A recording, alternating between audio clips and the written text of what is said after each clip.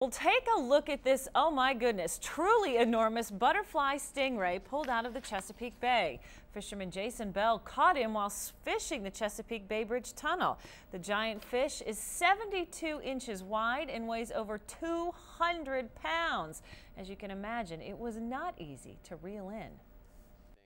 Fought me for approximately 45 to 50 minutes. It took two pier gaffs to, to get him up and five guys pulling on the rope to get him up over the railing before we could finally put him on the deck.